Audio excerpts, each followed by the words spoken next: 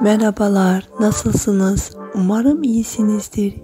Yeni ve muhteşem bir video ile karşınızdayım. Videomuza geçmezden önce sizlerden bir ricam var.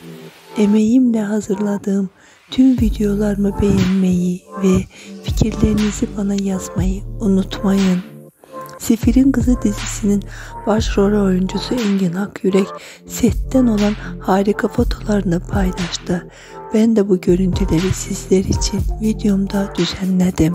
Umarım hayranları memnun kalır.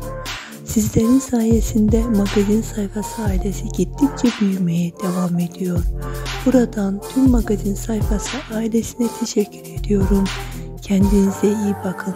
Sizleri koskocaman öpüyorum.